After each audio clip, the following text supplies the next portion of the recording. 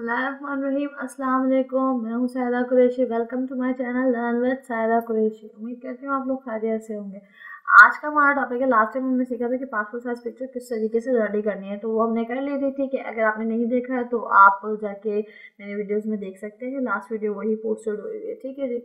उसके बाद दूसरी चीज़ ये कि अब ये तो हमने सीख लिया कि कैमरे से पिक्चर कैसे निकालनी है और उसके बाद उसको पासपोर्ट साइज़ में कैसे एडजस्टमेंट करनी है बैकग्राउंड चेंज करना। है आपने ये नहीं सीखा कि कंप्लीट जो स्टूडियो वाला हमें एक एक पेज के ऊपर सोलह पिक्चर निकाल के देता है, वो कैसे बनती है? ठीक है, उसको कैसे बनाए अब नॉर्मली ये है कि एम ही चलाने वाला तो क्या करेगा? उसको कॉपी करेगा, छोटा करेगा प्रेस करेगा, ये करेगा। नहीं, हमने ऐसा कुछ नहीं करना। हमारे पास बहुत अच्छा टूल है इसके अंदर, जिसके थ्रू हम ये काम कर सकते हैं। और अगर आप चाहें तो एज अ स्टूडियो में भी काम कर सकते हैं। मतलब कि आप हुनरमंद हो सकते हैं। ठीक है जी।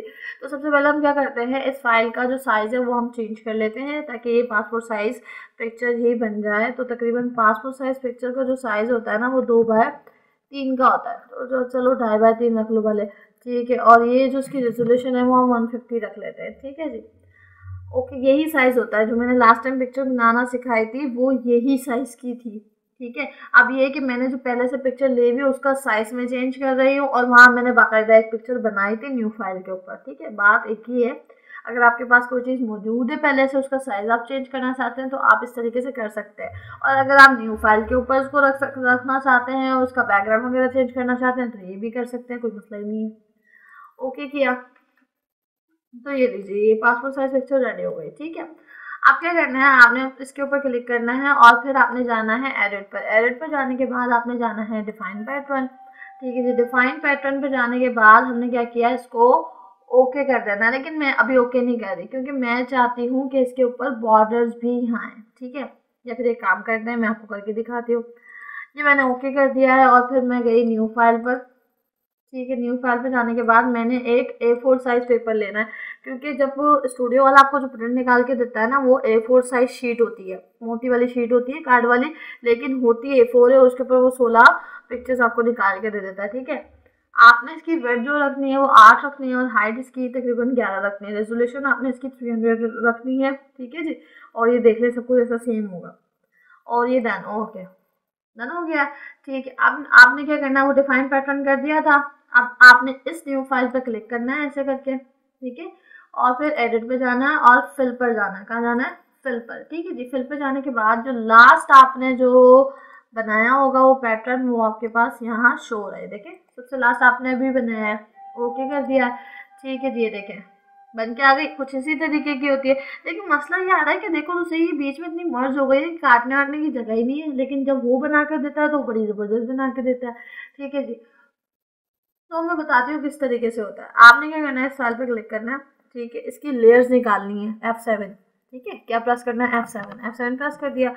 ठीक है तो ये लेयर वाला डायलॉग बॉक्स आ गया। इसका लॉक हटाया हमने। लॉक हटाने के बाद मैंने इसको किया कंट्रोल टी ठीक है कंट्रोल टी मतलब ट्रांसफॉर्म जब आपको रिसाइज करना है तो आप कंट्रोल टी यूज़ करते हो किसी भी चीज़ के लिए। ठीक है, ये लीजिए। बीच में कर दिया। ठीक, और कंट्रोल शिफ्ट एन किया मैंने। कंट्रोल शिफ्ट एन पहले मैं इसको इंटर कर दूँ, ताकि जो है ट्रांसफॉर्मर जाए। अब कंट्रोल शिफ्ट एन किया मैंने, और ये ओके किया। ठीक है जी। अब बैकग्राउंड पे कौन सा कलर आता है? वाइट कलर होता है जैसी बात है पिक्चर की पिक्चर के बैकग्राउंड नहीं बैकग्राउंड के भी बैकग्राउंड पे। मतलब के जो बॉर्डर होते हैं, वो वाइट कलर के होते हैं। ठीक है। दूसरा भी तरीका है स्टॉक वगैरह लगाना, लेकिन उससे क्या होगा, हमारी पिक्चर ढक जाएगी। इसलिए मैं चाह रही हूँ कि पिक्चर वगैरह को कुछ ना हो। और ये ओके किया। ठीक है, उसके ऊपर मैंने कंट्रोल बैग स्पेस डाल दिया। ठीक है जी, अब ये कंट्रोल बैग स्पेस से क्या हुआ? बैकग्राउंड कलर दे दिया लेयर को। लेयर को पकड़ा और नीचे ले आई। ठीक है लेयर को पकड़ना है। लेफ़्ट वाले बटन से माउस के ड्रैग करके नीचे रख देना है। ठीक है, आप देखें ये लेयर्स ऊपर नीचे हो गए। लेयर्स भी मैंने बहुत अच्छे से डिफाइन किए लास्ट वीडियो में। आप जाके वीडियो देख सकते हैं। ठीक है जी डन हो गया कंट्रोल शिफ्ट ई किया मर्ज हो गया डन अब फिर आपने क्या करना है? फिर इस पर क्लिक करना है। फिर आपने जाना है एडिट पर, फिर आपने जाना है डिफाइन पैटर्न पर, ठीक है? पैटर्न डिफाइन कर देना है आपने। ओके, ठीक है जी। अब आपने क्या करना है? फिर आपने जाना है फ़ाइल के ऊपर न्यू फ़ाइल लेनी है। आठ बाई ग्यारह, तीन सौ रेजोल्यूशन सब कुछ सेम ठीक है? और ये देखिए, मैं फ़र्क बता देती हूँ ना, दोनों में क्या फ़र्क होगा? ठीक, अब मैंने क्या किया? इसी फ़ाइल पे क्लिक करके रखना है और फिर जाना है फिल पर।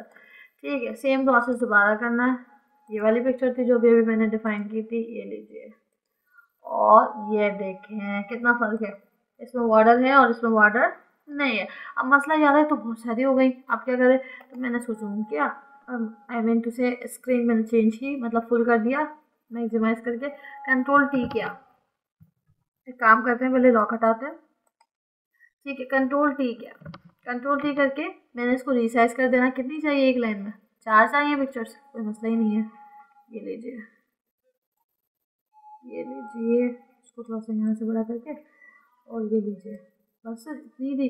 एक, दो, तीन, चार, पाँच। कोई ज़्यादा हो गई, बीस हो गई। चलो, थोड़ा सा और इसको करते हैं। और ये लीजिए यहाँ से। अब ये देखिए सेटिंग हो। गई है ठीक है? कुछ इसी तरीके की आपकी पिक्चर्स होती हैं। ठीक? ये लीजिए ये तकरीबन आपकी सिक्सटीन पिक्चर्स हो जाएँगी। पासपोर्ट साइज़ पिक्चर इसी तरीके की बनी होती है। ठीक है जी, ये डन हो गया। अब सिंपल आपने कमांड देनी है कंट्रोल पी की। जैसे आप कंट्रोल पी प्रेस करेंगे है वो आपको प्रिंट का ऑप्शन दे देगा। प्रिंटर से कनेक्ट करें, वहाँ पर एक शीट लगाएँ इंटर करें और आपका एक पेपर प्रिंट होकर आ जाएगा, जिसके ऊपर आपकी सारी पासपोर्ट साइज़ पिक्चर्स होंगी।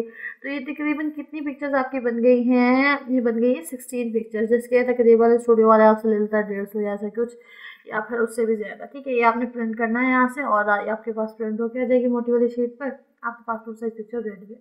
डन उम्मीद करती हूँ आपको वीडियो समझ आई होगी, फिर मिलेंगे नेक्स्ट वीडियो में। जब तक अपना ख्याल रखिए अल्लाह हाफ़